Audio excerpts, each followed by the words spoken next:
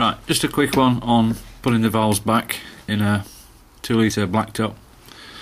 Um, obviously the valves are different sizes.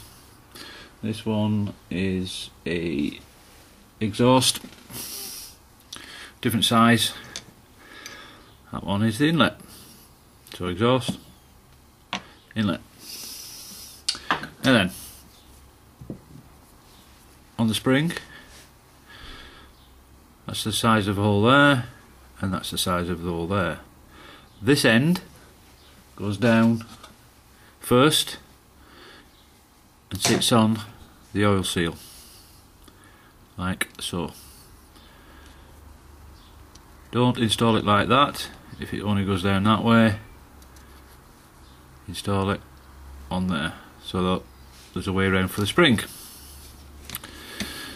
The top hat there's two ways it'll go and only one is right.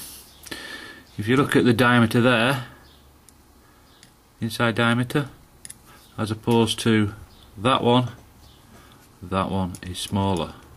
The smaller goes if that's the top of your spring down. Reason for that? When you put the collets these are the collets and you notice that these are tapered. Taper goes down like so. Get on. And the other one. So if I show you that uh, get closer. You see the taper's going down. Put the other one on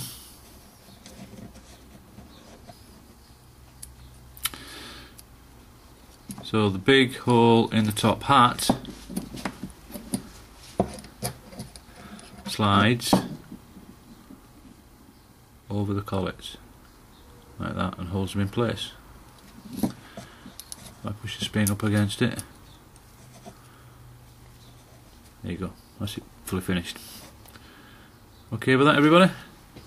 That's the correct way of assembling collet, the top hat, big hole up, little hole down, and the spring, big hole, a little hole, because that big hole goes over the seal.